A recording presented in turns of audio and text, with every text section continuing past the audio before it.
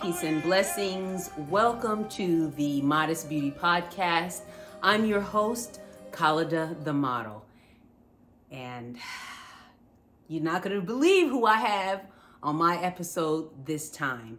I am going to allow her to not be so humble and really let us know where she came from, where she is now, and how she got there. Um, my special guest today, as I call her Auntie Lubna, my special guest today is Lubna Muhammad, and I would like to allow her to tell us a little bit about herself and where she came from and how she got to up to the point where she decided she wanted to be a fashion designer.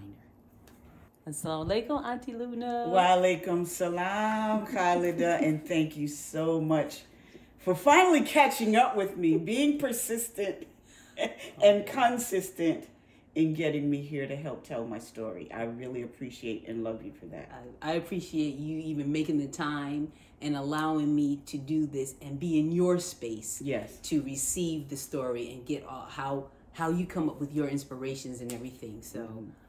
how did you start all of this in how your beginnings? Your well, beginnings. I would say that um, even as a child, um, I was attracted by fashion. I used to make clothing for my dolls, and it sort of began that way. And both my grandmothers, so so I'm from North Carolina. I was born in North Carolina, and when I would go back and visit them for the summer, that was the thing to do because other than nature and going out, you know, there was not a lot to do. So for my, I would make clothing for my dolls. So that was kind of where it first started, and that I would say when as I got older in junior high school, I and you know you have home ec, mm-hmm. and so well, they they had it then. Then now yes. they don't have it. Anymore, I know they don't is, have it anymore. Sad. But um, so I was able to get closer to fashion through my home economics class. When I made my projects, they came out really well, mm-hmm. and so that was in the '60s. Did they did they know, or did you feel something? Did the teachers feel like this was something out of the ordinary than all the rest of the students in the class? Um, I didn't get the sense at that time okay. that I there was anything that was exceptional. Okay. I know how it landed on me and how it began to make me feel. Mm. And just the sense of a comp set out, you know, you make then we made vests mm. and little aprons. Mm-hmm. So, but in making that vest, in choosing the fabrics and it in the 60s, the fabrics, there was a lot of polyester, but there was mm-hmm. a lot of textures and colors. And it was a time where we were getting Java and African mm-hmm. prints on the scene. And, mm-hmm. and you know, and it was exciting. Mm-hmm. It was exciting to make clothing and be a part of that. So I remember also making my first pair of, at that time, the high waist cummerbund bell bottoms. And walking down the street and getting all of these accolades for like, where did you get those? Did you make that? Did you? Mm-hmm. So there's there's this something that comes from mm-hmm. when people begin to recognize that whatever else that you're doing in terms of fashion is making a statement. Mm-hmm. So I would say it sort of it began like that. And you know how how you get you want more and more and more. It's like I can do this, I can do that. so in junior high school when it came time to um, move forward to go to high school, I chose the High School of Fashion Industries. Mm-hmm. So I lived in Brooklyn mm-hmm. and I commuted com, uh, commuted from the J train mm-hmm. uh, to Delancey Street to West Fourth, and my school was on Twenty Third. So you had a hike. I, every two hours every day. That's what I'm saying. You Minimum. And, and people are complaining now that they have to travel half hour, forty five minutes, an hour. Yes but minimally. I, as a matter of fact, I said that to my nieces when they were complaining about getting on the bus. Mm-hmm. I said, well, two hours if there was no subway delays or anything like that. Um, but it was worth it. Mm-hmm. So, truthfully, it took me two years to get there, start getting there on time. Because classes started at a quarter to eight. Oh, no. You were up and out like I was up and out very early, but um, I didn't give up, and um, a lot of a lot of folks that I knew at that time, when you hear about this fashion industry, they think that it's just about clothing. Mm-hmm. But this school was about heavy academics mm-hmm. and seeing a project through. Mm-hmm.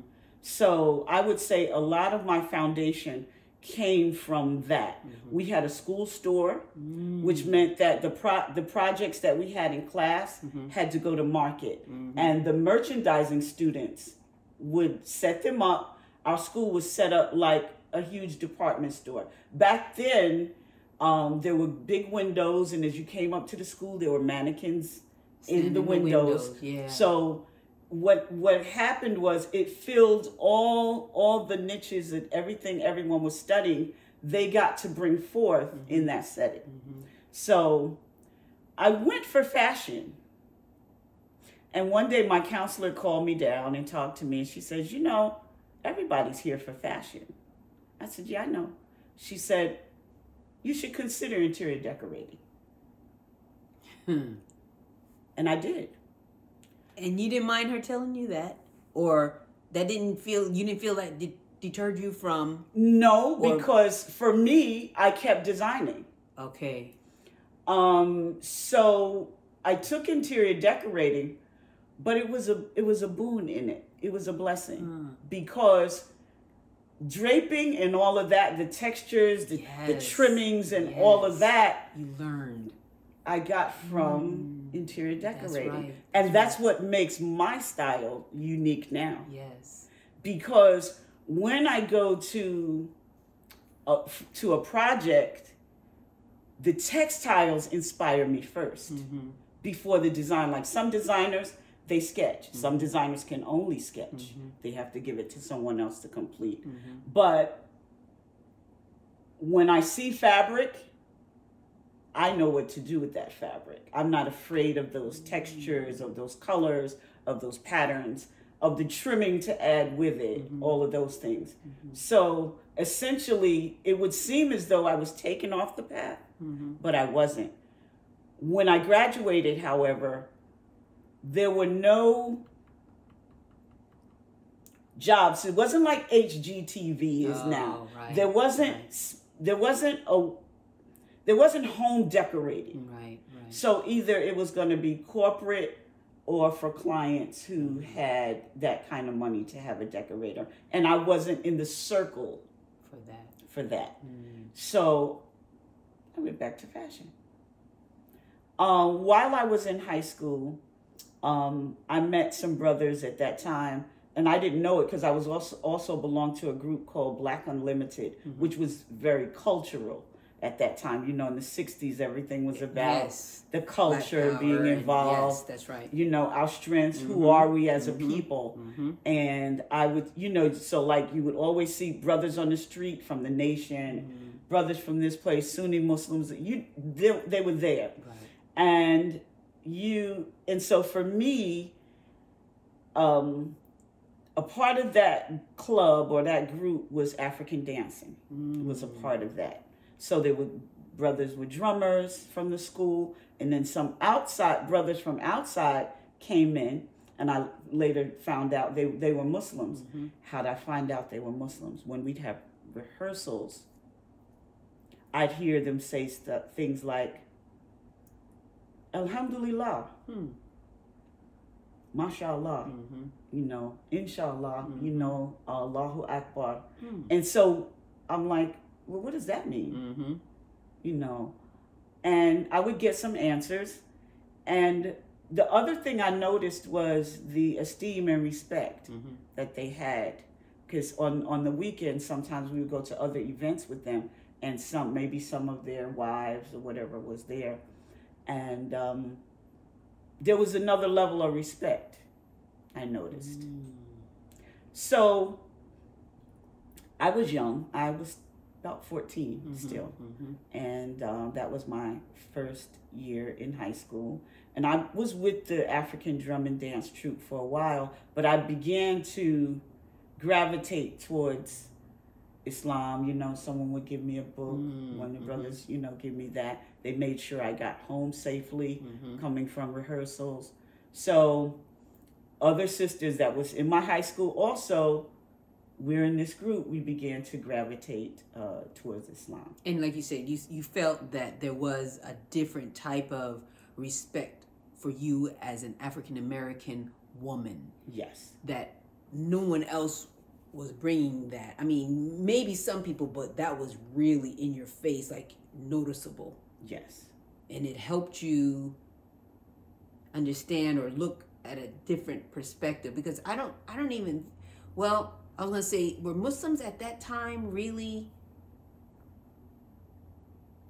It, it, it wasn't like it wasn't like we're oh they're muslim okay let's you know it was more like hush hush right like it, they weren't but I, I wouldn't say it was hush hush because as you know at that time there were a lot of musicians who were muslim right you know Pharoah Sanders um, you know uh, the last poets oh right the- right you know so there there were and and then there was this like hub in brooklyn this place called the east uh-huh um, where that be, that was instituted another type of education, cultural education and school, Mm-hmm. but they had all of these acts, performers that would come there.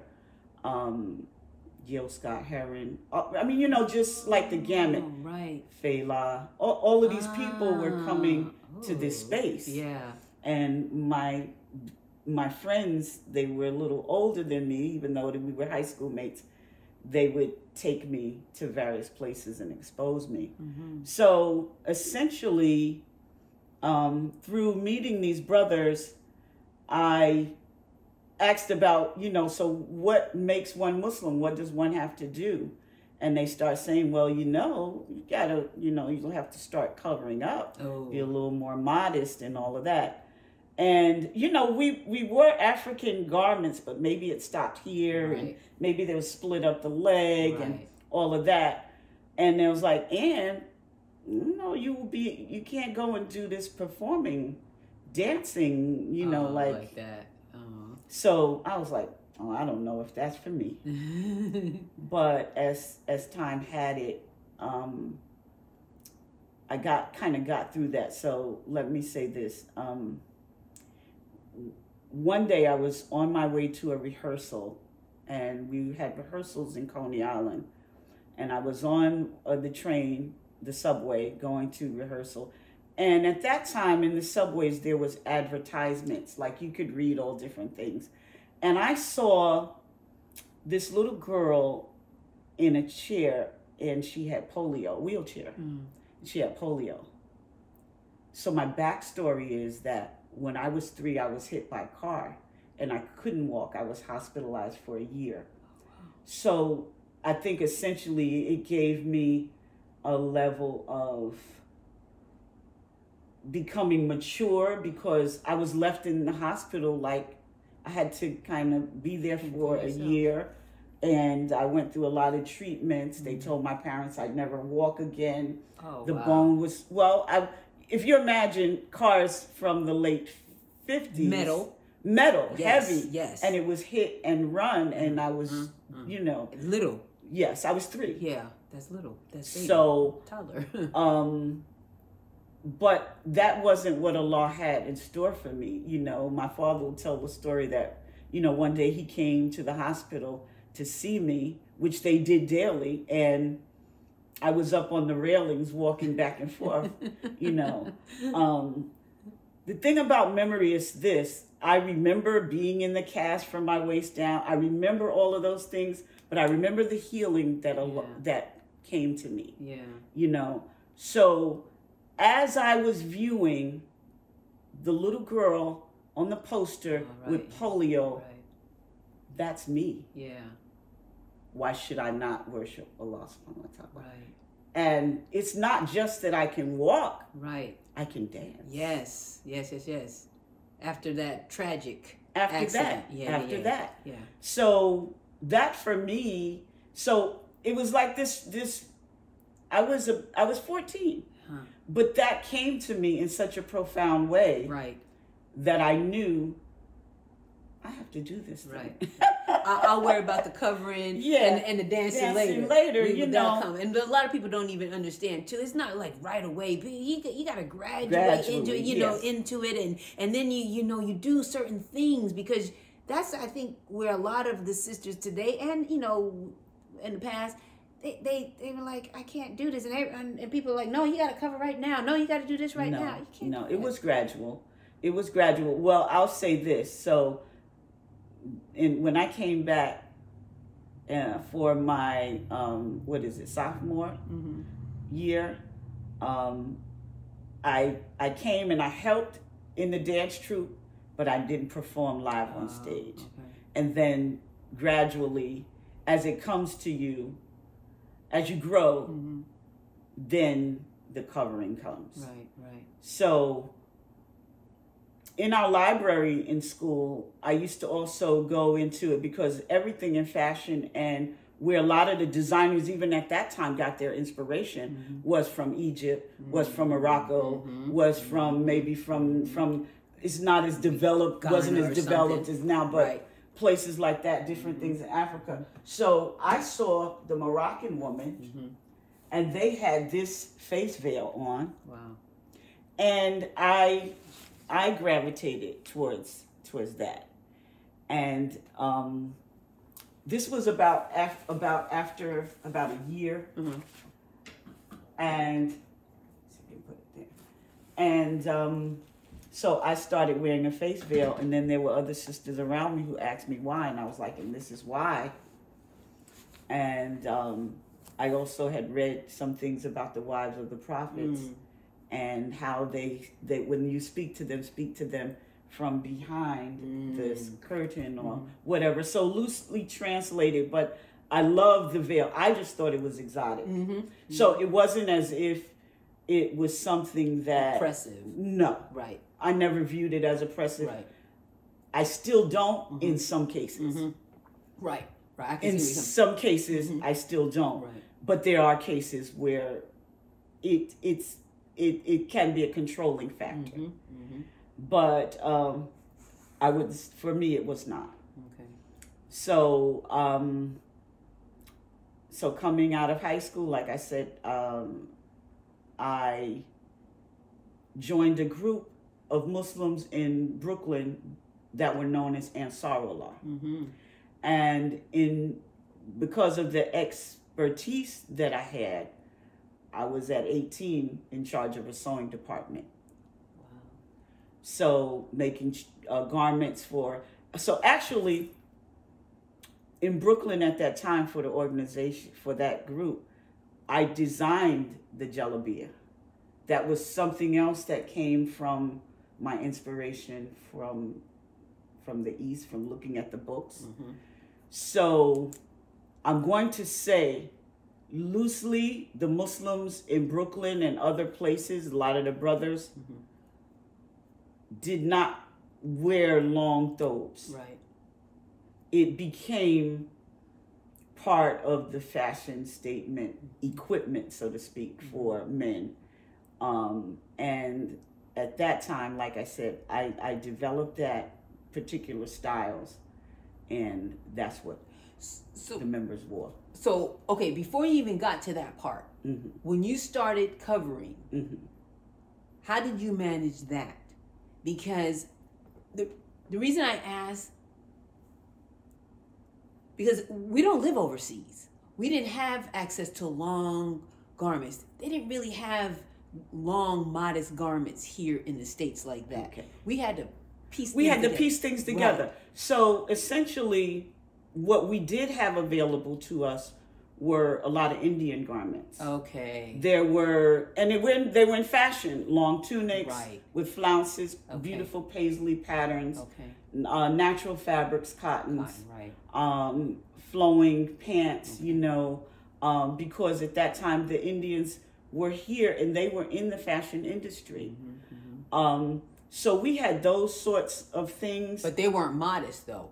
Where they then in this in, in the fashion industry, but they were Indians, right? They were Indians. So they still had their arms out and the chest out and, So- and stomach out. the tops came to the sleeves would maybe come to here. Okay. Sometimes you could find A long longer one. sleeves. Okay. Now, the types of garments I'm talking about uh, in the mid to late 60s did have Oh, Nehru Mandarin collars. Right, right. Did okay. they did they did close up. Okay. So there was that you could choose from, find some pants. Mm-hmm.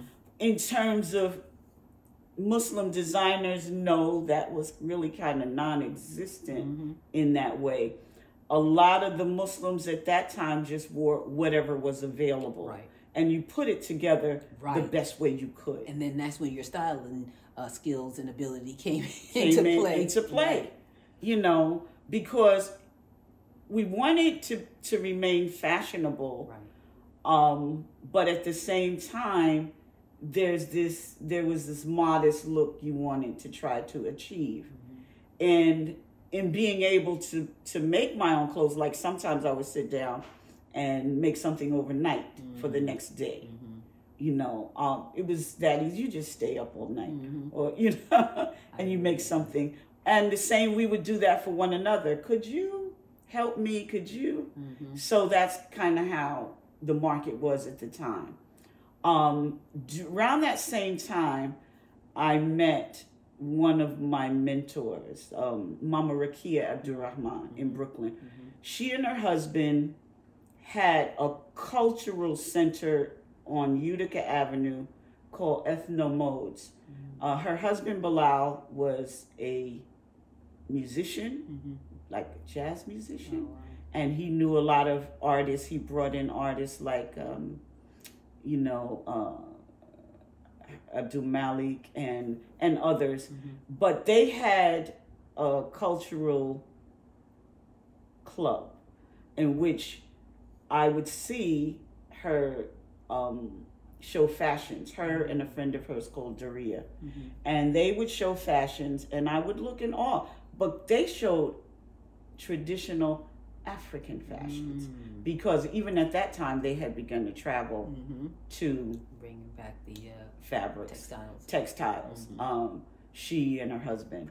So she was one, if I could say, she was one of the forerunners in terms of that, and she was uh, also uh, uh, active at the State Street Mosque Mm-hmm. in Brooklyn. So in you as as things go, Khalida, you begin to meet one person, then another. Just and- because your circle becomes a little bit bigger because you're meeting more people, and then in this industry that you're in, you're getting a little bit from this person, getting a little, bit from, that, person. Right.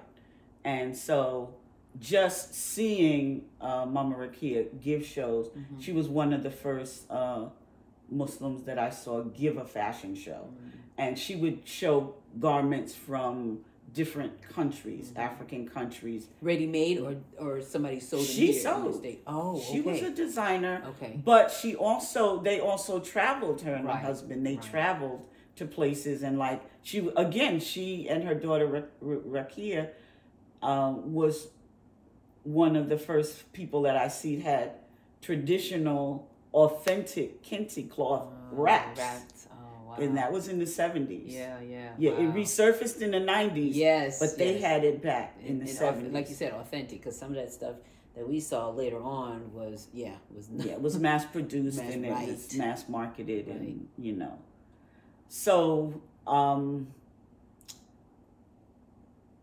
as things came along and uh, like I said I was a part of the Ansarullah community. I was in charge of developing the looks and the garments and all of that. And I had a team, actually a team of women that worked with me. So it only served to develop and enhance my skill and also get the project completed. Mhm. Um, see it from this point to the end Yeah, right, right. you know um and i think in 19 i think it was 78 i i moved on from that community and then decided, okay, so I have this skill, which means I can do this wherever I and go. you've been perfecting it for probably what, ten years? yes. You said fourteen, and then yeah. Yeah. Yeah. Because when I left there, I think I was 22. hmm So, um, but again, the takeaway, the lessons were um, doing things in a professional manner, sticking with a project until you see it through, and knowing that this the skills that I had and that I had gained from that work, um, I could take anywhere and do anything. The, because I did really become a professional by the time I was twenty. Yeah. Wow, that's that's young. Yeah. That's really young. and I was ready to because in that setting we also made uh, clothing, sold it, you know, got took orders from people on the outside. So that was the other thing because a lot one of the big deals that people say, especially with, um, you know, would be with Muslim women or designers. They're like, you're never going to get anything back. You're never going to get anything back. So you know, part that was part of of of that training. Yeah. Um, so, um, around that time, like I said, was when um, I started taking some of the garments that I made. My aunt helped me to buy. My aunt gave me my one of my first sewing machines at that time, even though I was used to sewing with an industrial machine. So is this the one when you said you were gonna go and you told me a story that you wanted to work Mhm. to get this one particular machine? I went to work. I went to work at a factory because I lived in Queens and on Springfield Boulevard. Every time I go from my house to Jamaica Avenue, Uh-huh. I would see back there, back there somewhere, they'd always have a sign, we need help, we need workers. Ah. It was a factory. Uh-huh. So I was like, I know I'm not a factory worker. Right. I, I knew I was never a factory worker, but I was like, I want this machine Mm-hmm. because I love the one my aunt gave me, but it was didn't move fast enough. Right. didn't. And I was trained in school on an industrial machine. We had singers, so I went to take the job. Khalida, I worked all of I no. Plus, I put a I put a deadline on it. Right. I was like, you work eight weeks. It. By the time you work eight weeks, you should have enough money to go to Midtown and buy your industrial machine. See, this is what I'm talking about: determination and goal setting, Mm-hmm. and and know where you want to go and how to get there. And you're gonna just allow yourself a certain amount of time. All of viewers and listeners out there, we need to take this because I feel like we don't we don't do that now. hmm We want to get there already. Already, yeah. Well, that's that seems to be how the industry is now. Mm-hmm. But um, really, in my lifetime, you had to go through the steps. Mm-hmm. It wasn't instant. It wasn't where I could just place things Mm-hmm. in front of people where they don't know the quality and I don't care about the quality if someone's going to buy it. There was a standard for what made your project product acceptable. Right, right. And from from from day 1 when I stepped into fashion the fashion industry, mm-hmm. that's was what it was preparing me for. And even the work that I did for the 5 years in uh, in the Ansarullah mm-hmm. community further prepared me for it. It made me a professional, mm-hmm. you know, in which, so I never had to do one or the other. Even in the interior decorating, I always was always able to use those skills. Um, I was always able to uh, use what I learned in terms of textiles. Because that was something we were also taught. Uh, like, yeah. what makes what are the finer fabrics? What makes silk? What are the twists that make silk? What what makes linen? And what are the grades of linen? Right. you know so essentially sometimes i find myself laughing when i go into a store and some or or into a shop and someone's trying to tell me what things are made of i smile Right. Because they're, they're just trying to do their job, I guess, or they're so used to other people coming in that, that do not don't know, Right. that do not know Right. you know actually even on my last trip when i was in morocco I was in a shop and they had some wall hangings, and I looked at it and I said, "Oh, this is not Moroccan. This is from India." Mm. And he says, he went and spoke to the other person and says, and then he came back and said, "Yes, Miss Lubna, it is from India." Oh, wow. You know, I was like, "Yeah, I know," because that's that's a, another one. I'm just gonna say another one of the gifts I felt that Allah has given me. Right. You know, um, so that's kind of where it started. I met. A, So you're gonna go now into time you spending in the mainstream um industry? So I, what? I can I can go into So how I I'm got to into mainstream. because I can stop it for a minute, and then we can have that as the first part, and then now the second part we can. Uh, that's why I want to know where you. so we're start. still in the 80s. okay. Still in the We're, 80s. Okay. we're still in now we're in late 70s, early 80s. okay. In which after I get my machine, it's easy to get customers because it's word of mouth. Right? And then I also made products and took them out to like there were some shops back then there was what they call African shops or traditional shops yes, or, African shop. you know um, Islamic stores Right, right, you right. know particularly in, in Brooklyn and Manhattan And that's we would have to travel because you know I'm from New Jersey, so we would have to travel there because they didn't have that kind of stuff in New Jersey. Right. We have to go there. yeah they do now but Yeah, they oh, didn't yeah, then yeah, you know yeah. so I would take some things by and say you know I have this I have that and show them and they're like oh you made this yeah I made that it looks like and I, and I love this phrase it looks like it's from the store. Mm-hmm. I said, "Well, do you know people actually make things that are in the store? Right. They're made by made by other people. people, right? But what they meant, and I knew what they meant, but you know, it was it's the skill. It's, the not skill something level. they're used to seeing as uh, a homemade Right. dress or homemade outfit. Right. So, uh, of course, uh, sometimes it would be consignment, but I didn't do consignment a lot. I never did consignment a lot because I felt that people would never get the value of something when they were just getting it and they didn't have anything on the line. Mm-hmm, mm-hmm. So maybe once or twice I would leave something. You sell it. Now you see my thing sell. Okay, so now let's make a receipt and mm. we'll go from there. Mm. So then I started getting offers, you know, can we purchase this more and more? So um, I did that for a while, and as I said, uh, it started. I started learning about people who were doing fashion shows, and at that time, the name came up.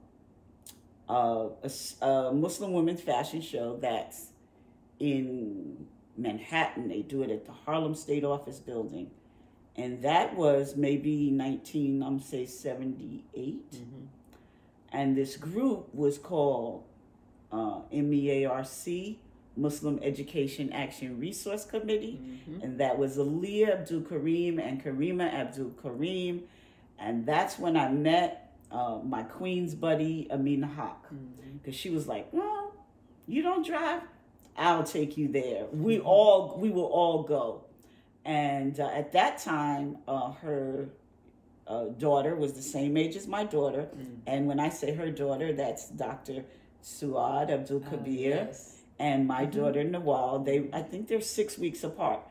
So we put them in the back seat in their little uh, holders, and we go to Harlem on Saturdays and have these rehearsals for the fashion show. Which time I met another fabulous designer. Her name was um, Fatima Al Islam and uh, a sister Wasima, and, and it just, you know, grew from there. I met from Newark. They had these sisters doing this routine, martial arts, where they roll on the floor and roll out and like uh, Zul Latifa. Uh huh. Uh huh. Uh So it was just now meeting more amazing women right. who done so many wonderful things and were growing and we all began to grow together help one another these fabulous productions like at first i didn't know what to expect but my my mentor mama rakia was also a part of it with her daughter and, and like i said they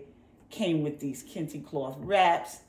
I saw the stuff that I was inspired by Fatima Al Islam. Mm-hmm. Her style was just so unique, the selection of fabrics, hmm.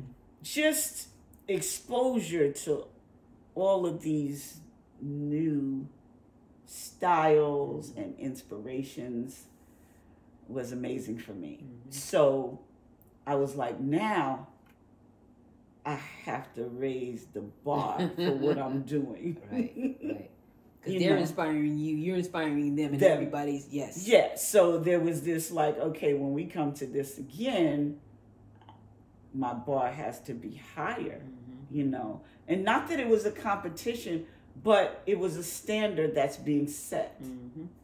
So, um, something else they used to do uh, at the end of the show, Aaliyah would come up and she'd say, Now we're going to have an auction.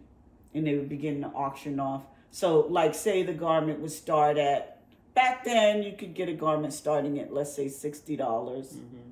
And you had, because there was only one. Right. So the sisters would vie for these various garments and the price would go up and up and up. So the next year when I have prices, uh, garments going up over 130 150 dollars, I was like, ooh, this could really work. this could really work out. Right, right, right. because I'm looking, I'm going home. Right. I've got 800 $900 in my pocket from right. one, one day. Night. Right. That was big then. Yeah. You know, so I was like, okay. but not only that, it was an opportunity network because mm-hmm. now you have a mm-hmm. warm market. Mm-hmm. These sisters see your work, and so they're coming to you throughout the year. Could you do my child's wedding? Mm-hmm. Could you do this? Mm. I have an anniversary. Mm-hmm. Um, and so it just began to grow from there.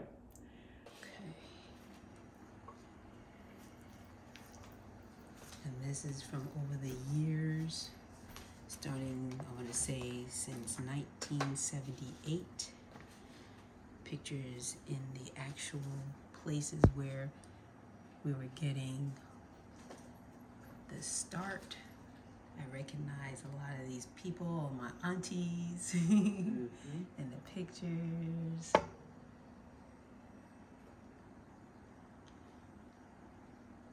And there's Auntie Lubna. Thank you so much for joining us. Be fashionable, be trendy, be modest. Thank you.